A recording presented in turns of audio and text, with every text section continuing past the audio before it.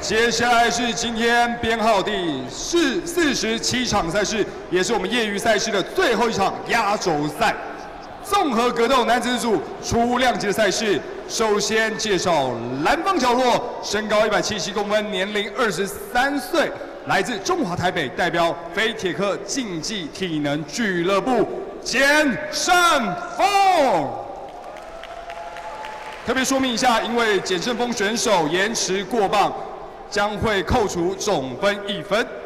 接下来介绍红方角落，身高一百七十三公分，年龄二十六岁，来自中华台北，代表成吉思汗健身俱乐部李玉生。场上裁判是。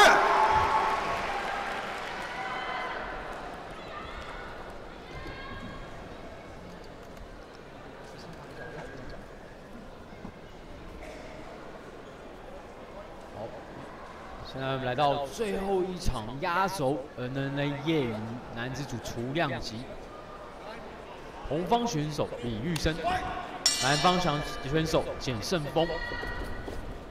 李玉生是我们 WTD 啊最精英选手之一哦，他非常有可能可以进军这个国际舞台或是职业赛哦。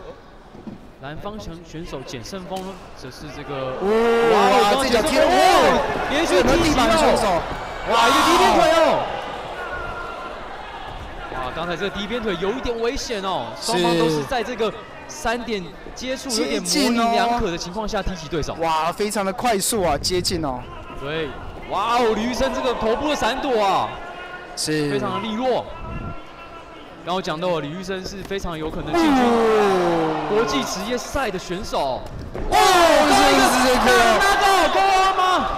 哇，直接进入地板，脚锁的位置哦。是那一拳，我以为是 KO，呢但是呢，到了地板上面立刻简直风醒了，实在太漂亮了，非常精彩哦。现在连眼睛都不能眨一下，哇，很有可能马上就分出胜负了。是。像吕医生几乎把防守全部放下来了，他是不是对自己的灵敏非常有信心？哇，果然又再一次换拳换到简胜峰脸上，哇，又一个右摆拳，对，非常多变化，李医生的打击技。没错，哦，李医生是非常快速灵敏的选手。对。哇，像简胜峰直接倒地哦，避免他遭受到这个战力技的攻势哦。因为在三点着地的情况下，你是不能打击头部的，不能踢起头部哦。哇哦！刚刚有一右手重拳哦，是哇！简胜峰的脖子也非常硬啊！哇，再一个重拳哦！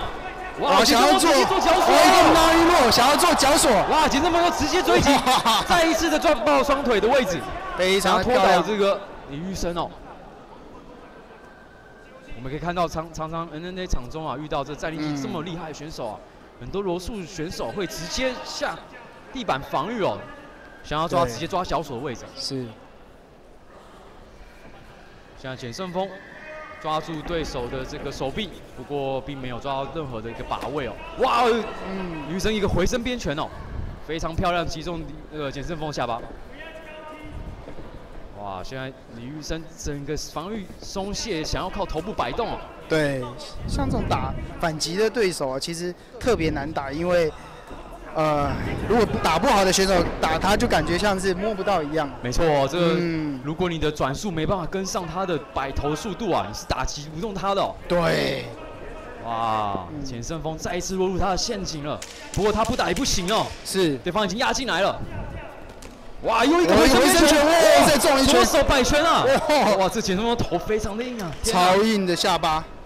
哇，好，第一回合结束，实在太精彩了。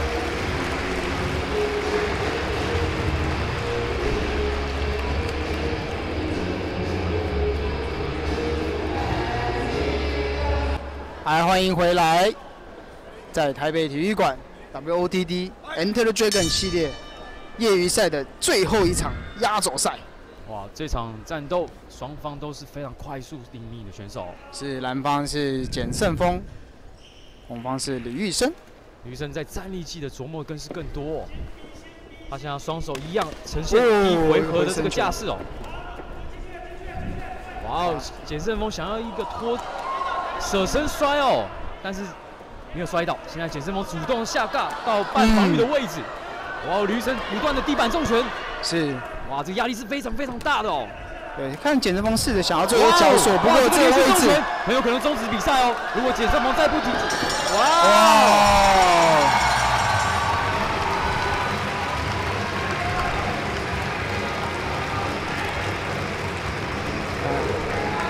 哦，因为是业余比赛哦，所以如果选手在裁判的这个安全这个警示的这个判决里面，如果他没有主动的防御啊，是就会像这样子直接终止比赛哦。